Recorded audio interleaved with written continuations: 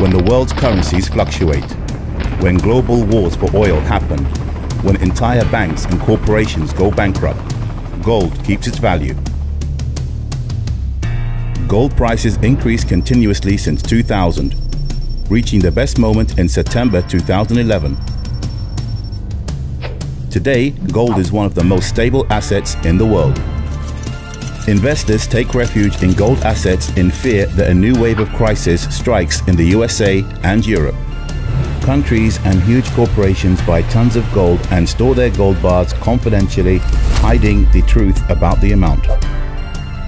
Why gold? Why do gold prices grow continuously? Why is the yellow metal so attractive? Let's have a look at history and track the origins. Gold was used as money since ancient times, and until World War II, most currencies in the world were based on gold, in a system known as gold standard. At that time, there were gold certificates that proved gold ownership. They could be freely exchanged for gold, and they were a symbol of stability. But what has changed today? Why currencies are no longer supported by this precious metal and have become a form of money that cannot be trusted? There are many reasons behind. What is important that people do not trust currencies as much as before? More than once, the uncontrolled printing of money has led to an economic bubble, during which currency prices reach extreme high or low levels. It is then when far-sighted people look for more stable assets like investment gold to ensure a reliable future for themselves. Let's have a look now to 2000s to track the price growth over the last years. During the last decades, inflation has not negatively affected gold.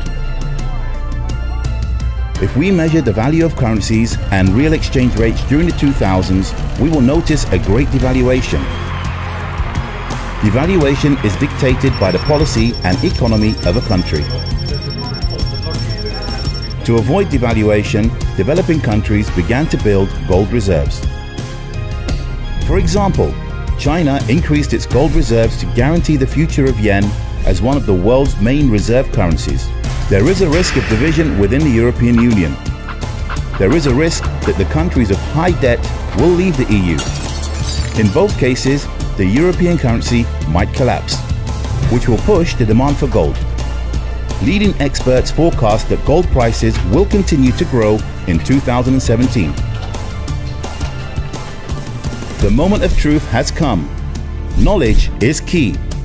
If you wish stability and reliability, it is time to take the right decisions. Become a client of Global Intergold online gold shop for investment gold bars and create your own gold reserve.